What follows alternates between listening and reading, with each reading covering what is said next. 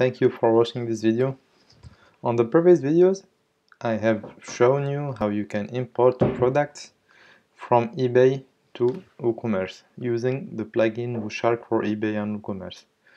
The first video I have shown you how you import single products.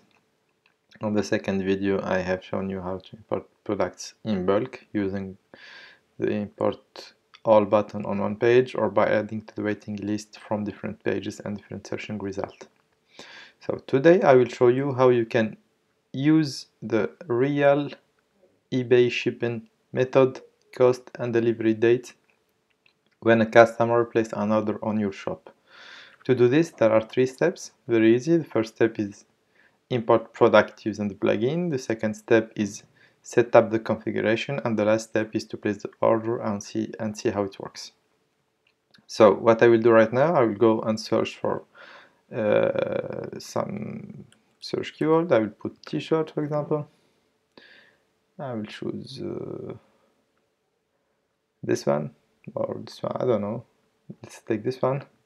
Just for testing purpose. Okay here the shipping cost is zero. I'll try to find one with shipping cost more than this to see all the shipping uh, services. So I will import this one, it has 248 shipping cost. I will wait a little bit. Okay, this is the model. I will not customize anything. If you want to see how it works, you can watch the previous video and then I click import. I will wait some seconds to see if the product is inserted correctly or not and I will open also the original product URL to see, to compare actually. So this is taking some seconds. Normally it should be faster.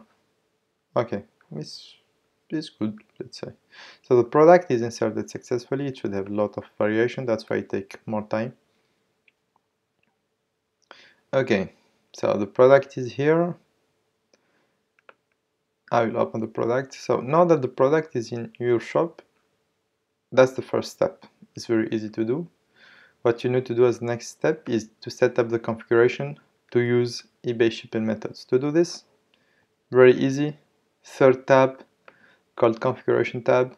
Go to the end, uh, you check this checkbox and then you save the configuration. That's the second step. With that in mind, the last step is to place the order on your shop. What I will do, I will go to the list of products. I'll pick the last product, this one. I will simulate actually an end user. So I, I will open this product page. Let's imagine that I'm a customer. I decided to buy this t-shirt black and large because I'm a little bit fat.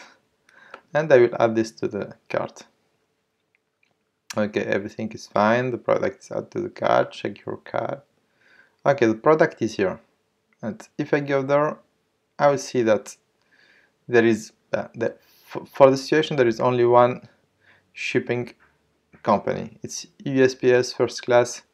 The delivery date is 7 date and will cost 2 euro 49 I will take another product to show you also how it can work.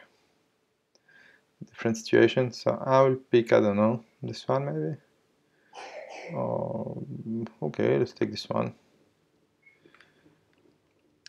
I will repeat the same thing again. I will visit the product page.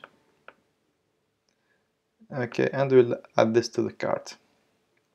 Oh, I need to remove the previous one from from the cart, this one, and maybe refresh the page no it's fine I think it's, it's intelligent so there are two shipping methods the first one is using expedited shipping I think it's shipping company in USA and you can use overnight shipping which costs I think a little bit more so it's two days and here is three days let's see what happens if I change the country let's say I want to ship to France sometimes there are international companies and sometimes not so Okay, yeah. If you want to ship to France, it will cost you 24 euro dot 89. That's how it works. I will try to ship to Canada to see if there is also so it's a little bit less. It's with expedited international shipping. It's 24.99 that's how the shipping will work. If you want to disable this and you want to use your own shipping methods what you need to do is go to configuration disable this one save configuration refresh your shopping cart like the customer shopping cart and okay I think I need to remove because this has already been added. Okay I will add this one. Purple. Oh view card. And okay no shipping option or find for Canada. That's because we did not find any shipping method in our in our store. If I go to visit my store I will